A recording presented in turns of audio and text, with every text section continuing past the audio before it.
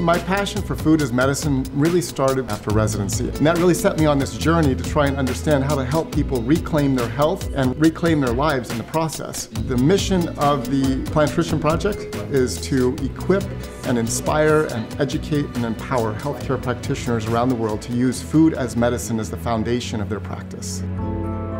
If you go back to what J.I. Rodale said, who was the founder of the Rodale Institute, healthy soil equals healthy food equals healthy people. And in fact, what we're doing now in this partnership with the Plantrician Project is saying that it's not only what you eat that's important, but how what you eat was produced. Ultimately, our personal health is linked to the health of the soil. There's no insects, no pesticides, you don't have to wash it, you just eat it. Now we want to be a destination for inspiration for the link between soil health and human health. So this concept of having a regenerative health center that not only showcases but teaches medical professionals and consumers how that connection is made and how powerful it is of a changed diet and a changed world in terms of human health.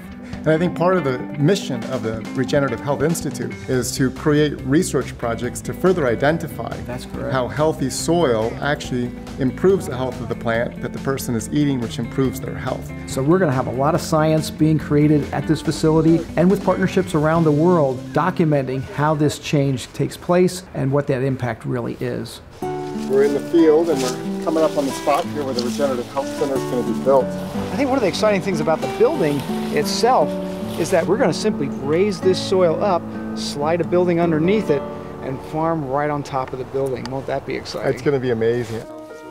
Our doors are wide open to not only philanthropic help, but also shared vision and input into the way our center is going to look and function. We appreciate any support that people can lend to this project. Financial support, it is support of personal gifts and resources, and letting people know that there's hope and that there is an, a place of inspiration that people can visit. And there's no more exciting industry to be in than that which works with nature and makes people healthy.